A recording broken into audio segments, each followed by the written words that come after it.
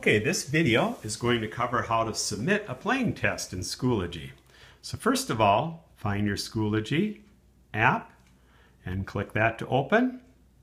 And depending on what shows up at your screen, you're going to have to go up here where the three lines are to select Courses and select Band. When you go into the Band Schoology folder, our playing test are going to be in the Band Karate Playing Test folder. Some directors might call it something else, but playing test.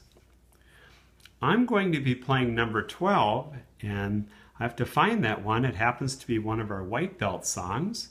So if I'm going to submit a video for number 12, I simply touch number 12.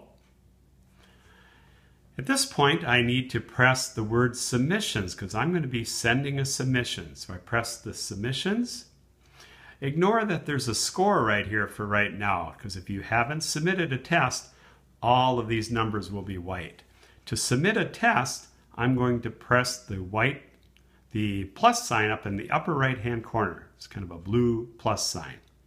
I'm going to be submitting a photo or video. At this point, assuming that you have Wi-Fi, you're going to go down to the blue camera and press that icon. Select the medium resolution. Then you'll have to select video. Now at this point, if you're having a mom, dad, brother, sister, uh, or if you're going to do the taping, make sure that in the camera I can see your entire body. I want to be able to see you sitting in a chair, using a music stand. I want to be able to see if you're tapping the foot. So I see, need to see your entire body. I just start recording. When you're done with the recording, you stop. And now you have three options. You can press the play icon and watch the video that you just made to see if you're happy with it. You could go over here to retake. And if you want to retake the video, let's say you didn't do very well and you're going to retry before you send it, you could press retake. If you like what you saw, you press the right hand corner where it says use video. Now it's selected that video.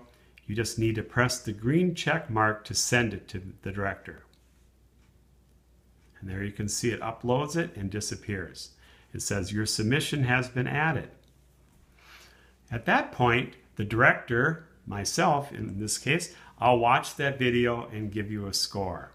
So when you come back, later on. I do believe you'll get an email notification that I've scored your test. But when I go back to number 12 to see my score and click submissions, you may see a score like that.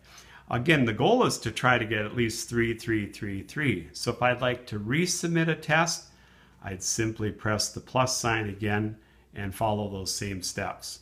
I would like to kind of encourage you to always look Next to your score, if you see a thought bubble, and there's none right here, uh, there might be a comment written, so double check that. Generally, I'm going to put comments right up here where it's the three dots are, so make sure you press that thought bubble, and you can see that it lists these submissions, and here I had already submitted a test, and then I left a comment, Mr. Rassier, remember to hold the whole notes for four beats and now I have resubmitted a new test. So if you're wondering if I watched your test or test, especially if you see your score hasn't changed from the last time, you can press that comments section and right now you can see that your submission is the last thing listed. So I haven't watched it. I'll, I'll leave a comment after I watch a retake. Then you'll know if I watched it or not. Okay? Then you simply press the arrow to go back to your main screen. And if you have more tests to submit or other folders to use, you're all set to go. I hope that helps. Good luck.